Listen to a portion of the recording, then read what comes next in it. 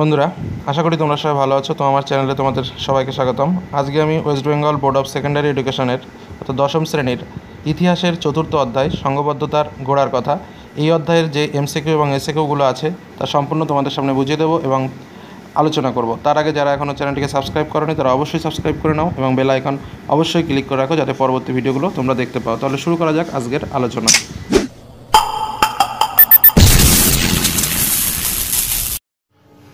বন্ধুরা, আজকে আমরা দশম শ্রেণির ইতিহাস, চতুর্থ অধ্যায়, সংঘবদ্ধতার গড়ার কথা অর্থাৎ বৈশিষ্ট্য ও বিশ্লেষণ সেই অধ্যায় নিয়ে আলোচনা করব। এর আগের ভিডিওতে তোমরা ইতিহাসের ধারণা, সংস্কার বৈশিষ্ট্য পর্যালোচনা এবং প্রতিরোধ ও বিদ্রোহ, বৈশিষ্ট্য ও বিশ্লেষণ এই তিনটে অধ্যায় কমপ্লিট করেছি সমস্ত শর্ট কোশ্চেন দিয়ে। তো এই অধ্যায়টা তোমাদের জন্য খুবই ইম্পর্টেন্ট কারণ মাধ্যমিকে এমসিকিউ তিন এবং এসিকিউ তিন মোট ছয় মার্কের প্রশ্ন এখান থেকে আসে এবং অধ্যায়টা খুবই কষ্ট করে তোমাদের জন্য আমি নতুন করে নোটস করে তোমাদের জন্য তৈরি করেছি এবং এই পাঠের ভেতর থেকে কিন্তু বিগত বছরেও পরীক্ষায় কিন্তু প্রশ্ন এসেছে। অতএব প্রত্যেকটা কোশ্চেন খুব গুরুত্বপূর্ণ। তো আমরা প্রয়োজন এবার শুরু করা যাক মূল আলোচনা। দেখো, প্রথম হলো, ভারতের ব্রিটিশ শাসনকালে সর্বভারতীয় বিদ্রোহ হলো সিপাহী বিদ্রোহ সতেরোশো সাতান্ন। দেখো, কীভাবে আমি অ্যান্সারটি তৈরি করেছি? প্রথম শহীদ মঙ্গল পাণ্ডে, মঙ্গল পাণ্ডের ব্যারাকপুর সেনানিবাসে সিপাহী বিদ্রোহ ঘোষণা করে আঠারোশো সাতান্ন খ্রিস্টাব্দের উনত্রিশে মার্চ। তখন গভর্নর জেনারেল ছিলেন লর্ড ক্যানিং এবং ভারতের সম্রাট ছিল দ্বিতীয় বাহাদুর শাহ। দেখো, কতগুলো কথা বললাম। তাহলে প্রথম সর্বভারতীয় বিদ্রোহ কোনটি? সিপাহী বিদ্রোহ, সতেরোশো সাতান্ন। সেই বিদ্রোহের প্রথম শহীদ মঙ্গল পাণ্ডে। তিনি কোথায় সিপাহী বিদ্রোহ ঘোষণা করেছিলেন? ব্যারাকপুর সেনানিবাসে কবে? আঠারোশো সাতান্ন খ্রিস্টাব্দের উনত্রিশে মার্চ। তখন ভারতের গভর্নর জেনারেল জেনারেল ছিলেন ক্যানিং এবং সম্রাট ছিলেন দ্বিতীয় বাহাদুর শাহ। পরেরটা দেখো। নামকরণ। ভেরি ভেরি ইম্পর্টেন্ট এই কটা পাঠের থেকে একটা পাঠ অবশ্যই পরীক্ষায়, প্রত্যেকবারই পরীক্ষায় আসে। দেখো, সিপাহী বিদ্রোহ কথাটি প্রথম কে বলেছিল? সেটা বলেছিল আর রবার্টস। সিপাহী বিদ্রোহকে জাতীয় বিদ্রোহ বলেছিল বেঞ্জামিন ডিরসেলি। গণবিদ্রোহ বলেছিল Surendranath Sen. Doctor S S Sen বলেছিলেন স্বাধীনতা সংগ্রাম। ভারতের প্রথম স্বাধীনতা সংগ্রাম বলেছিলেন বিনায়ক দামোদর সাভারকার এবং পরিকল্পিত যুদ্ধ বলেছিলেন অশোক মেহতা। তাহলে সিপাহী বিদ্রোহের নামকরণ কিন্তু বিভিন্ন ব্যক্তি করেছিলেন। এরকমভাবে প্রশ্নটা আসে যে ভারতের স্বাধীনতা সংগ্রাম সিপাহী বিদ্রোহকে ভারতের স্বাধীনতা সংগ্রাম কে বলেছেন? উত্তর হবে বিনায়ক দামোদর সাভারকার। পরিকল্পিত যুদ্ধ কে বলেছেন? উত্তর হবে অশোক মেহতা। গণবিদ্রোহ কে বলেছেন? উত্তর হবে সুরেন্দ্রনাথ সেন। বেশ, পরেরটাই চলে আসব। দেখো, ভারতের প্রথম গভর্নর জেনারেল উইলিয়াম বেন্টিং, ভারতের শেষ গভর্নর জেনারেল লর্ড ক্যানিং। ভারতের প্রথম ভাইসরয় লর্ড ক্যানিং, আবার ভারতের শেষ ভাইসরয় লর্ড মাউন্টেইন। আবার স্বাধীন ভারতের প্রথম governor general lord Mountbatten এবং স্বাধীন ভারতের প্রথম ও শেষ ভারতীয় গভর্নর জেনারেল চক্রবর্তী রাজা গোপালচারী। খুব ইম্পর্টেন্ট কিন্তু প্রত্যেকটা। দেখো, প্রথম গভর্নর জেনারেল উইলিয়াম বেন্টিক মনে রাখবে, শেষ গভর্নর জেনারেল এবং প্রথম ভাইসরয় একই ব্যক্তি লর্ড ক্যানিং।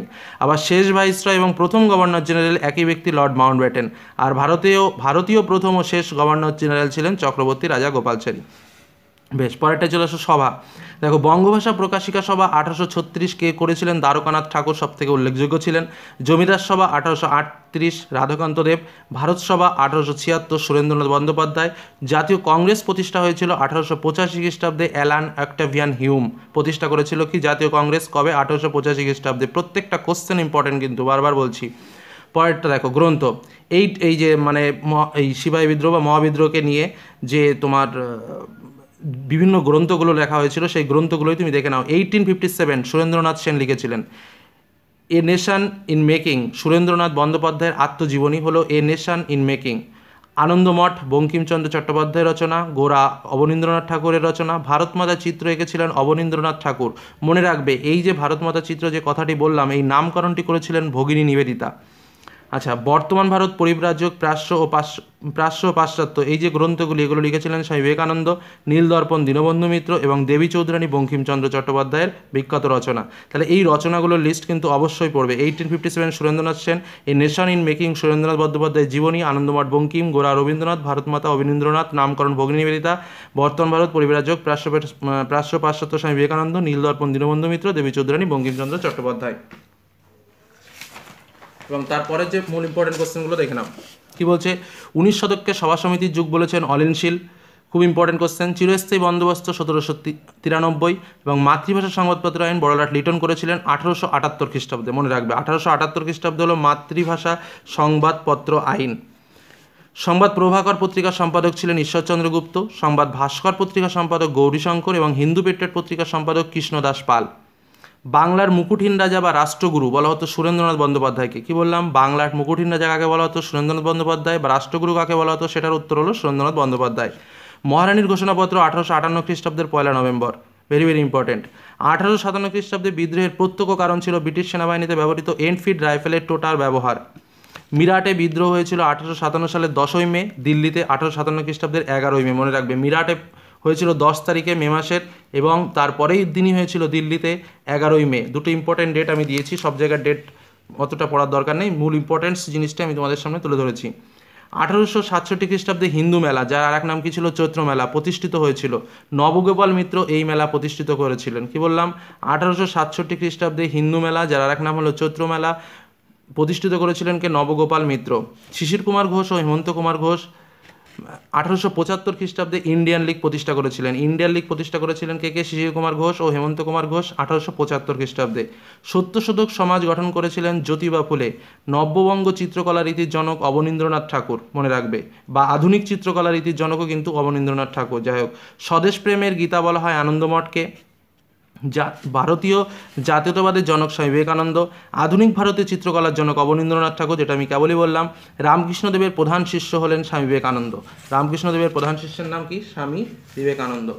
তারপর দেখো, সিপাহী বিদ্রোহ প্রকৃতপক্ষে শুরু হয় মিরাটে, যদি বলে প্রথম কোথায় শুরু হয়েছিল, তখন অবশ্যই উত্তর দেবে ব্যারাকপুরে, কিন্তু যদি বলে প্রকৃতপক্ষে কোথায় শুরু হয়েছিল, উত্তর হবে মিরাটে।